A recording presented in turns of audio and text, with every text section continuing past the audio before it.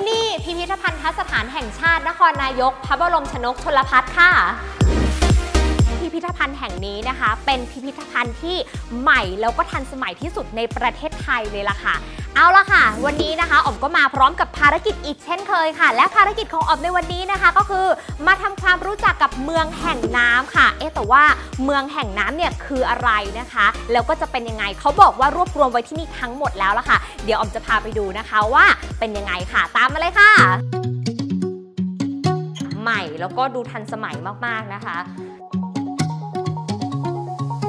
คุณพี่คะคุณครับพี่คือเจ้าหน้าที่ที่นี่ไหมคะใช่ครับออมถามนิดนึงได้ไหมคะ อันนี้คือแบบจำลองอะไรคะ ครับผมตรงส่วนนี้นะครับก็จะเป็นโมเดลจำลองส่วนของแผนที่ contour line ขึ้นมาของทางจังหวัดนครนายกนะครับอ๋อซึ่งจะมีการจัดแสดงข้อข้อมูลทางด้านภูมิศาสตร์และภูมิประเทศรวมถึงภูมิอากาศของทางจังหวัดไว้ครับ พี่คะแต่ว่าที่นี่เนี่ยเขามีทั้งหมดกี่อาคารครับอมอยากเดินดูให้ทั่วเลยค่ะครับผมมันจะมีทั้งหมด 4 อาคารนะครับ โดยที่อาคารที่เราอยู่กันนี้นะครับชื่อเป็นอาคารที่หนึ่งที่ชื่อว่าปฐมบทแห่งการสร้างเขื่อนขุนด่านนะครับ จากข้อมูลที่ได้จากเจ้าหน้าที่ พิพิธภัณฑสถานแห่งชาตินครนายก พระบรมชนกชลพัฒน์แห่งนี้ เป็นพระราชดำริของสมเด็จพระกนิษฐาธิราชเจ้า กรมสมเด็จพระเทพรัตนราชสุดาสยามบรมราชกุมารี เพื่อรวบรวมเรื่องราวของจังหวัดนครนายก และการชลประทานของเขื่อนขุนด่านแห่งนี้ โดยถูกแบ่งออกเป็น 4 อาคาร แต่ละอาคารมีกิมมิคและความน่าสนใจต่างกันไปค่ะ นนี้บอกเล่าเรื่องอะไรอะคะ เป็นประวัติในเรื่องของการสร้างเขื่อนครับ ประมาณว่าก่อนที่จะเปิดโครงการเนี้ยในหลวงท่านได้ไปรีเสิร์ชอย่างไรบ้างว่าเรื่องของผลกระทบแล้วก็ความต้องการของชาวบ้านและปัญหาของชาวบ้านในจังหวัดนครนายกครับ อย่างนี้เนี่ยถ้าน้องๆมาที่พิพิธภัณฑ์แห่งนี้ก็คือสามารถที่จะมาเรียนรู้ได้ด้วยใช่ไหมคะได้ครับ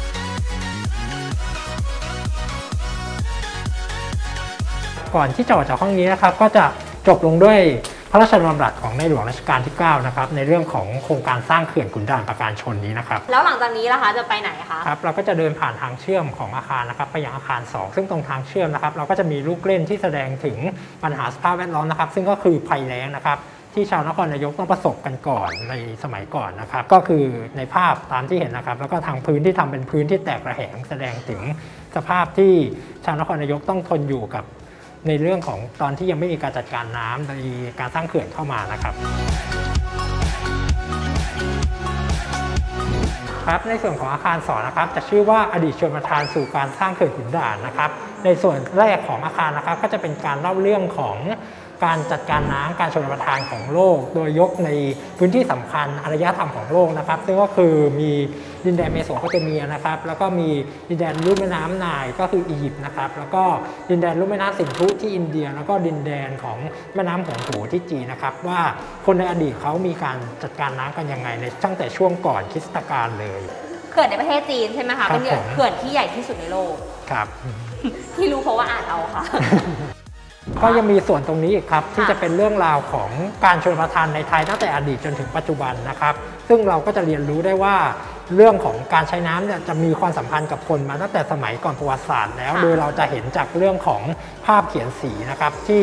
คนก่อนประวัติศาสตร์เขาจะวาดกันไว้ตามที่อยู่อาศัยของเขานะครับ ส่วนนี้นะครับก็จะเป็นส่วนของเรื่องไทม์ไลน์ของการสร้างเขื่อนขุนด่านปราการชลนะครับ ซึ่งเราก็จะไล่เรียงตั้งแต่ ที่ในหลวงรัชกาลที่ 9 ลงพื้นที่มาสำรวจพื้นที่จะสร้างฝายท่าด่าน ซึ่งเป็น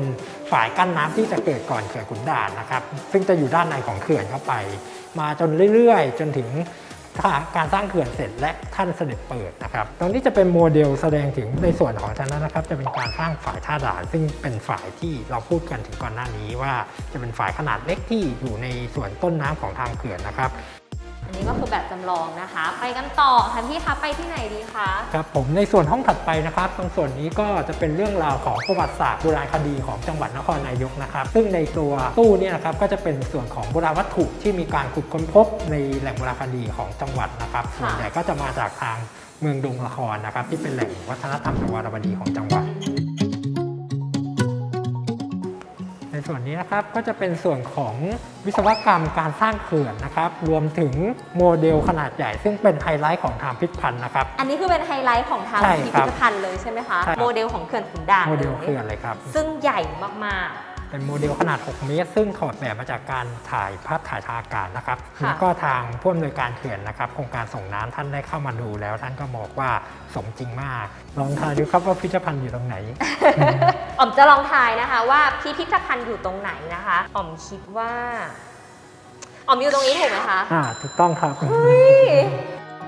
ตอนนี้เรามาอยู่ที่ไหนของพิพิธภัณฑ์คะ เป็นอาคารที่ 3 ของพิพิธภัณฑ์นะครับ ชื่อว่าพระบารมีปกเกล้าชาวนครนายกนะครับ ซึ่งในส่วนแรกนะครับก็จะเป็นการกล่าวถึงการเสด็จพระราชดำเนินของในหลวงรัชกาลที่ 9 มายังจังหวัดนครนายกนะครับ ทั้งหมด 12 ครั้ง ซึ่งแต่ละครั้งนะครับที่ท่านมาเยือนก็จะเป็นการมาติดตามโครงการพระราชดำรินอกจากเขื่อนขุนด่านแล้วนะคะ